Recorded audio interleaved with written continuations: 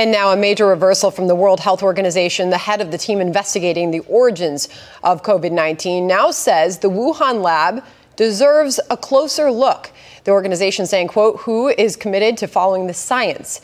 And we call on all governments to put differences aside and work together to provide all data and access required so that the next series of studies can be commenced as soon as possible. Joining us now is Jamie Metzl, one of the members of the WHO's advisory committee. Uh, Jamie, thanks for being here. So, I mean, for months now, you've had the World Health Organization downplaying this lab leak theory. So now, why the reversal and the need for more information before you can reach a conclusion? Just to be clear, the World Health Organization itself hasn't been downplaying the, the likelihood of a lab, uh, lab incident origin.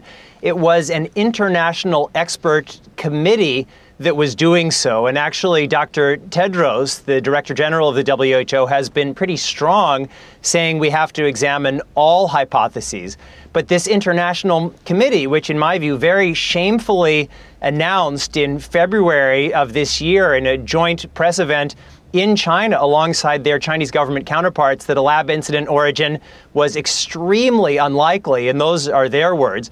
It now turns out they were essentially lying, that the leaders of this international committee actually believed a lab incident origin ranged from unlikely to likely but that they did a deal um, with their Chinese government counterparts who didn't want to mention a lab incident origin at all. And so the deal was, well, we'll mention this possibility, and then we'll say it's it's extremely unlikely and not call for a further investigation. And so the leader of that independent expert committee has now essentially come clean. It's just outrageous that this happened. And that's why the entire world must come together in demanding a full investigation into the origins of the pandemic in China with full access to all relevant record samples and personnel. Well, we know that Wuhan. China is unlikely to cooperate in that. David Asher, former State Department investigator, as we have been speaking with him throughout, the Chinese cesspool of lies, he says, they've been propagating from day one on this thing when you know rather than looking for a virus and its origins,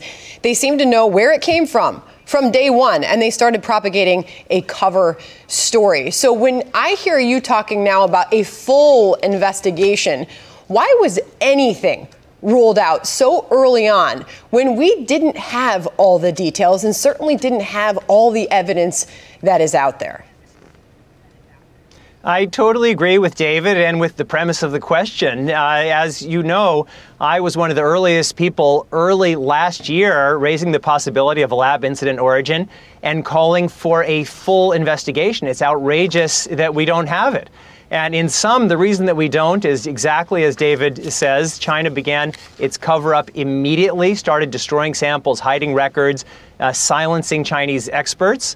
Uh, then uh, there was, uh, because of that, lots of international experts didn't have the data that they need needed. Uh, President Trump, who and I'm a, a, progressive Democrat, and I disagreed with a lot of what President Trump said, but he happened to possibly be right in the allegations he was making about uh, the origins of the pandemic.